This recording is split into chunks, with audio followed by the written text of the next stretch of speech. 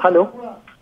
Veera, uh, big action now coming in. Well, uh, JDS has finally suspended Prajwal Revanna after uh, allegations against him and the videos that have uh, gone viral of uh, him in. Uh, uh, well, you know, well, charges that have been made against Revanna as well, and the complaint that has been made against Prajwal Revanna. What happens to his Lok Sabha candidature now?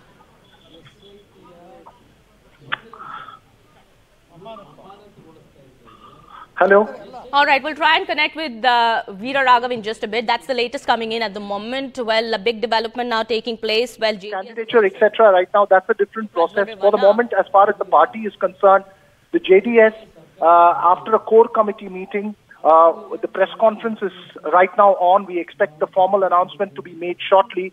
We'll suspend Prajwal Revanna as the first step, issue show cause notice on why he shouldn't be expelled, and then go through the process. It's essentially the process of action against Prajwal Revanna for the moment begins as far as the JDS is concerned.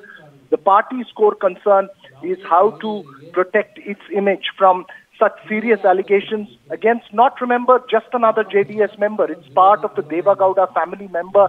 Hassan is a prestige Lok Sabha seat for the family. It was Deve Gowda's seat which was given to Prajwal Revanna in 2019. So uh, it's it's a huge uh, symbolic seat as far as uh, the JDS is concerned, and also uh, Prajwal Revanna having accusations of the nature that's been made against him is extremely disturbing for uh, the JDS, uh, and the focus of the party is to protect its image.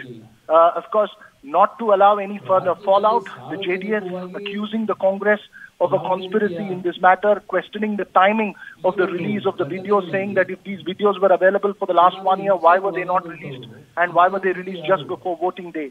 Um, so we expect the formal process of action uh, beginning. Uh, remember, there is an HD Revanna faction of the JDS. Uh, there's the HD Kumaraswamy faction as well.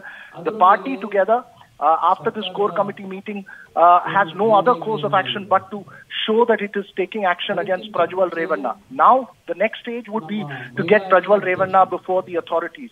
As far as the question of his candidature is concerned, uh, Kitty, the, the process of law is simple. If he wins the elections, uh, and that we will know post the 4th of June. Then obviously the process of law will play out, and uh, it is only through the course of law, uh, post, let's say the matter goes to the courts, and whether he gets convicted or not, how seriously the charges are followed up in terms of the case, that would determine the future as far as that aspect of Prajwal Revanna's political career is concerned. Of course, this raises a big question mark over him. Those live pictures you're seeing are of GT Devagowda, the party's state president, speaking. He was part of the core committee meeting. You have H.D. Kumaraswamy as well, sitting next to GT Devagowda. Uh, H.D. Kumaraswamy did speak to us journalists before he entered the meeting, saying that even if there is no proof, on moral grounds, the JDS will take action, sending out a clear indication that there was going to be action taken against Prajwal Revanna. Now, how seriously the party uh, follows this up and how seriously these investigations go on would be crucial to determine the political future.